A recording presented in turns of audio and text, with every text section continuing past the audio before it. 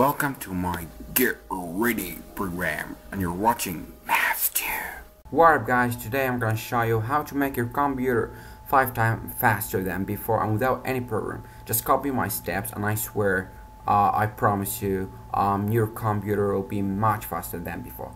Um, Alright, let's start. Um, first guys, you're just gonna need to write all these commands. I'm gonna show you how to do it exactly. I'm gonna put all these commands in description.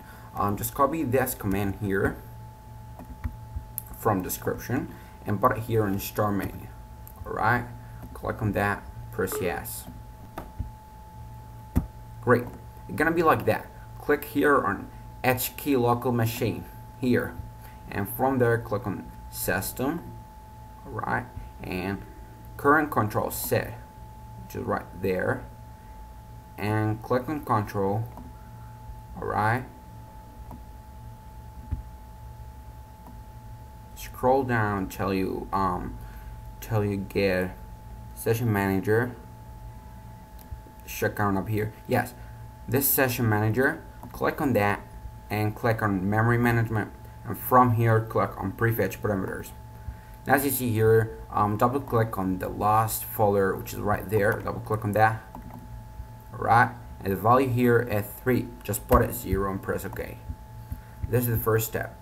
Close this window and click Windows key plus R or you can get it from here from here um, type run. You're gonna get it right?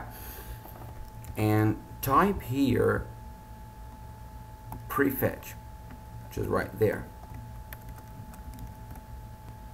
Press ok press continue.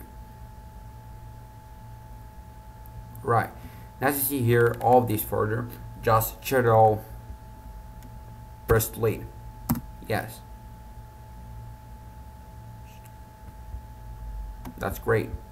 Press again on Windows key plus R and type here. Superfetch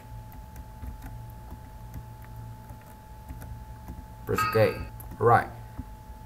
If this message coming up with you that's mean you working well. That's mean um, all of these steps it's working very good. So and the last step is here um, percentage temp percentage.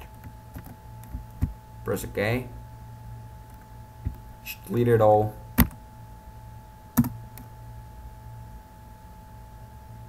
Okay great. Um, there's a folder not gonna delete it um, will be executed so you must press skip. Okay that's great.